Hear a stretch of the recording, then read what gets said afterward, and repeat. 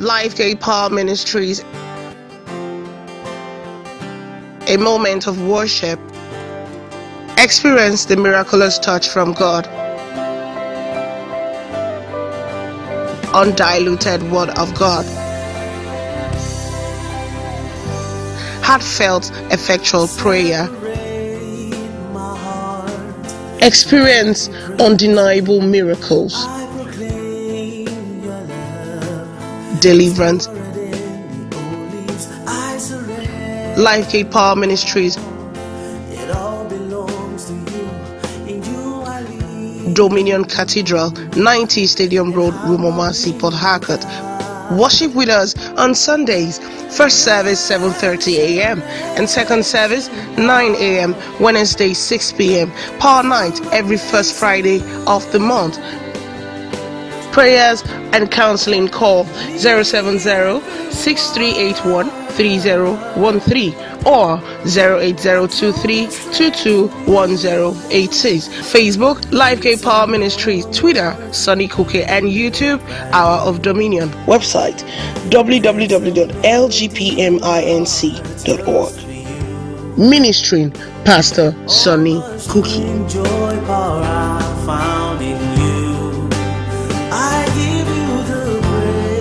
Word koinonia is a Greek word for communion, fellowship. It's actually a Greek word that represents about five things. The English language can't handle it, so in English language it could be said to be the fellowship of the Holy Spirit or the communion of the Holy Spirit. But both the communion and the Holy Spirit are in the word koinonia. What is the koinonia of the Holy Spirit? It means sharing in common. It means to fellowship. It means fellowship, association, community, communion, joint partnership, contribution, intercourse. So God is calling us unto the fellowship, association, community, communion, joint partnership, contribution, and intercourse with the Holy Spirit. Our governing text is taken from 2 Corinthians chapter 13 and verse 14. The grace of our Lord Jesus Christ and the love of God and the koinonia of the Holy Spirit. That's what it means. The New Testament was written from Greek, was translated from Greek. So the Greek translation, I mean Greek root, the word, the, this root- the root word in Greek is koinonia, and the commun- communion of the Holy Spirit. So this is how far English language could interpret it. But the Greek word koinonia is deeper than the word communion. So if you to read it from the original text where it was translated from by the authority of King James into the uh, English language, you read it this way: the grace of our Lord Jesus Christ and the love of God and the koinonia of the Holy Spirit be with you all. Amen. Jesus told us that it is very, very vital, important for us that He leaves the earth physically. That it will be beneficial to us. Because as He was on earth, He was confined to one place, only ministering to few people that were around Him. But He said, When I leave, I will send the comforter. In John chapter 14, verse 26, we see the, the properties of this comforter. He said it will be, said, but the comforter, which is the Holy Spirit. Another word for comforter means the helper, which is the Holy Spirit, whom the Father will send in my name. He shall teach you all things and bring all things to your remembrance, whatever I have said unto you. How is he going to teach you all things? It is by you having fellowship with him. The Holy Spirit is a divine person that has all attributes of a person. Every person needs relationship, needs fellowship. You live with someone. I believe this morning as you woke up, you greeted that person. If not, you know, communication can break down. We need the fellowship, the association, the community, the communion, the joint partnership, contribution, and intercourse with the Holy Ghost to make the most of life. To make the most of life. What are the benefits of fellowship and communion with the Holy Ghost? It infuses divine strength into you. It infuses divine strength into you with which you can handle challenges of life. What is the, the benefit of communion of the Holy Spirit? It infuses divine strength. They go from strength to strength, every one of them that appeareth in Zion. You know, so when you fellowship with the Holy Spirit, He infuses His strength. That's number one thing He does for you. It infuses His strength into you. He infuses His strength. You fellowship with Him as you wake up in the morning with thanksgiving, greeting Him. Good morning, dear Holy Spirit. Thank you for protecting me and my family all through the night. Blessed Holy Spirit, I welcome you this morning to help me offer acceptable thanksgiving, praise, and worship, and to pray the right way, and to secure speedy manifestations of answer to my prayers. Dear Holy Spirit, I welcome you to be my senior partner. So we are in joint partnership. And that joint partnership is the principal partner. The Holy Ghost is the principal partner in this relationship. You must recognize him. So he infuses strength. Two, he teaches. One of the primary function of the Holy Spirit in our life is to teach us. When is to teach us? He said, He shall teach you all things and bring to remembrance everything that I've taught you. That's what He does. He teaches. So you can't read the Bible in isolation of the Holy Ghost. You won't get anything. For instance, in the first place, is the author of the Bible. Dear Holy Spirit, can you fellowship with me? Can we read the Bible together? Would you open my right, my eyes to behold wondrous things out of your word? You are the author of the Bible. Now you're quoting Psalm 119 verse, verse 18. Open my eyes to behold wondrous things out of your word. You commune with him. You fellowship with him. The Holy Spirit is not someone that is just there for you to use to end your prayer and say, you know, once in a while you talk to him. No, he's there constantly to fellowship with you. You're a businessman, you're a businesswoman. Bring him into partnership. Ask him question. This man, this woman, am I supposed to do business with him, with her? This line of business, is it what you have carved out for me? This journey now, should I travel or not travel? Holy Spirit, give me wisdom now. They know how to hear him. You switch into praying in tongues. Mandorobo shandaraba indorobo ilaraba shakabaya. Holy Spirit, I'm waiting. I'm listening. He will speak to you from your spirit, not from your head. He will speak to you from where? Your spirit, not from your head. Many people are stranded in life because they are only getting information and assistance from their head. No. The Holy Spirit is a spirit. He can only relate with you and he can only relate with him via your own spirit. And the Bible said, He that speaketh in an unknown tongue speaketh not unto man but unto God. He speaketh mystery. No one understanding what he says. When you're speaking in an unknown tongue, your understanding, your mind is unfruitful. Your mind is suspended. It is your spirit now communi- communing with God. So if you are not giving to praying in tongues, you are limiting yourselves. That is the truth. Now he said, You won't understand what you're saying, except Holy Ghost interpret it. No man understanded him.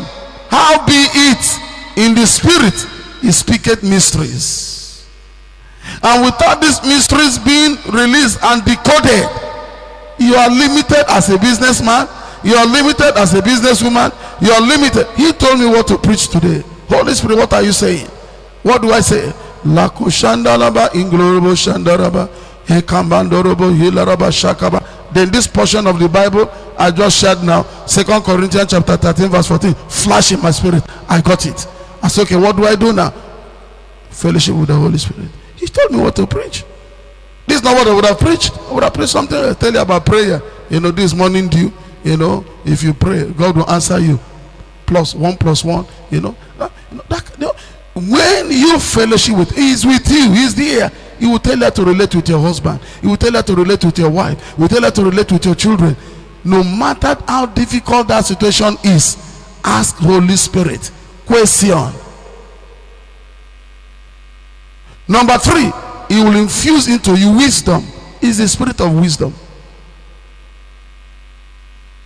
There's a bugging situation in your before you. Holy Spirit, give me wisdom to handle this situation. Makoshandaraba ekloshaka brakatoli namando ekoso barande ekabala tokasa ekolobaria emaloro tanloko siyanda ekababaro taka makoso brakata eklatosi kaba akatobaya Holy Spirit I'm waiting mako brande kletosa and then a thought will come within spontaneous thought and then he may flash scriptures. That's why it's good to study the word because the data, the storehouse of your uh, of your data determines how Holy Spirit will lead you and give you wisdom. He will draw from what you have already put, you know put in your in your spirit, the word of God. Most of the times, other times he can give you direction, you know, outside the Bible that is also in agreement with the Bible. Very vital. You want to make the most of your Christian life, you want to enjoy life as a Christian, you must commit to fellowshipping with the Holy Spirit. You must commit to fellowship with Him. You must have a quiet time. There is nothing He cannot handle for you. What else will He do? Finally, because of time, He would give you direction. He will give you direction in any issue of your life. In John chapter 16, verse 13. He said, When he, the spirit of truth, is come. Do you see that? Is the spirit of truth. When he, the spirit of truth, is come, he will guide you into all truth. For he shall not speak of himself, but what he hears, what he hears from the Father, he will now minister to you. For what he hears, shall he say, for he will not speak of himself but what he hears and he will show you things to come. He will show you things to come. He will show you things to come. How be it when the spirit of truth is come he will guide you into all truth concerning how to handle that situation that bugging challenges. For he shall not speak of himself but whatever he hears he shall hear that shall he speak and he will show you things to come Holy Spirit, I'm committed to your teaching today. I'm committed to your fellowship today. I'm committed to your communion, joint partnership today. Help me. There is nothing Holy Ghost does not know. Is it about your job? There is nothing. Are you a medical doctor, an engineer, a lawyer, businessman? What is it? He's, he's all knowing. He will give you insights how to win your case, how to how to handle that challenge, how to handle that problem. He will. But Christians have been, you know, flawed, frustrated, defeated, stagnated because they neglect this person. He he's not there decorating your spirit. Holy Spirit is inside your spirit and my spirit for business. It's not there decorating your spirit. I have Holy Spirit inside me. For what? Is it for sure? Commune with the Holy Spirit. Use this opportunity and renew your relationship with Him. Renew your relationship with Him. There is nothing He can't handle for you. Is it that sickness that have been long? No. Just what He will tell you. Now, my daughter, my son, do this. You do it. You now commit Him. Now, up to you. You want to lie down? Want to stand up? You want to kneel down, you want to sit down, but don't sleep. You want to come to the altar anywhere and all over the world where you are watching this program from. Commit to this seven minutes personal supplication prayer section and renew your relationship with the Holy Spirit. Renew your fellowship with the Holy Spirit and commit to maintaining that relationship. I want you daily to confess these scriptures. Now say, Thank you, Father, for the grace of our Lord Jesus Christ, for the love of God the Father, for the koinonia of the Holy Spirit. Or you can use word the Bible, the King James said, the communion of the Holy Spirit being my daily experience. In the name of Jesus, I receive the grace of our Lord Jesus Christ, the love of God the Father, the communion of the Holy Spirit be my daily experience. Be my daily experience from today. Thank you, Father. I give you praise and glory in the name of Jesus. Please don't forget, time to time during the day, be conscious of Him. Is that clear? Just use relationship of a woman and a man. The woman wants the man to be always conscious of him. Be conscious of the Holy Spirit. Sometimes you can tell him, Holy Spirit, good afternoon. I love you, Holy Spirit. I worship you, Holy Spirit. Is there anything you want to tell me? I'm ready to obey. I'm ready to follow your instruction. Your life will be very sweet. Your life will be full of victory. Lift your hands now and thank Him. Blessed be His name. In the mighty name of Jesus. This week and after, I release upon you the daily experience of the grace of our Lord Jesus Christ, the love of God the Father, and the communion, even the koinonia of the Holy Spirit to be your daily experience. To be your daily experience. And as you do, begin to fly, begin to change levels, begin to prosper, begin to make it all round, begin to profile solution for any naughty challenge problems in your office, in your career, in your business, in your relationships. In Jesus' name, amen. Thank you for watching this broadcast. You can watch our live service at lgpminc.org. Like us on Facebook at facebook.com slash lifegatepower ministries. Follow us on Twitter at twitter.com slash sunnycookey. You can subscribe to our YouTube channel at Hour of Dominion. Get a copy of Pastor Sunny Cookey's books and CDs at www.lgpminc.org. For inquiries, call these numbers 070638 or call 08023221086 or call 08052013598. God bless you.